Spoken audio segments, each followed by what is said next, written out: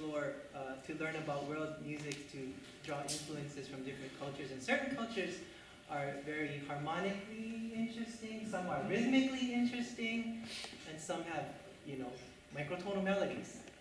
Uh, so, uh, Spanish, flamenco rhythm is very interesting. This is, uh, Bulerías is a, a, a recognizable rhythm. You probably know this from Leonard Bernstein's America. You know, like dun dun dun dun dun dun dun dun dun dun dun dun dun dun dun dun one two three one two three one two one two three one two three one and two and three. So it's kind of like a, a different grouping of six. So what I did was I made the rhythm very slow.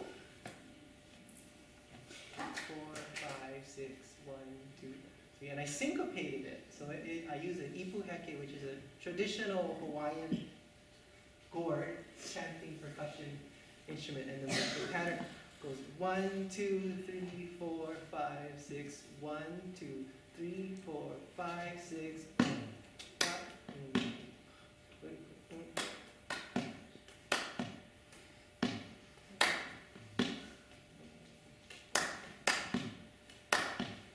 That's the rhythm that the, the piece is based on. The song is called called Aukahi, which uh, in Hawaiian.